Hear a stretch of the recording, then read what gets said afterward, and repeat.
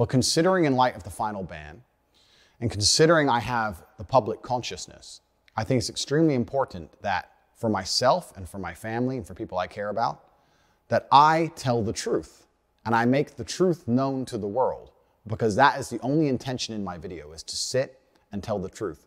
And the fact that I'm a very, very iron-minded individual who is not negatively affected by these smear campaigns is not reason enough for me not to sit, take time, and dispel all the negative things which are said about me.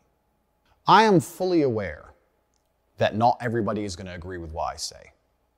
I don't think there's a person on the planet you can find who has a 100% approval rate. There's always going to be somebody who disagrees with what you say. If I said the earth was round, there would be a contingent of individuals on the planet who disagree with me. I have no problem with people disagreeing with me. I have no problem with being seen as controversial for some of the things I've said.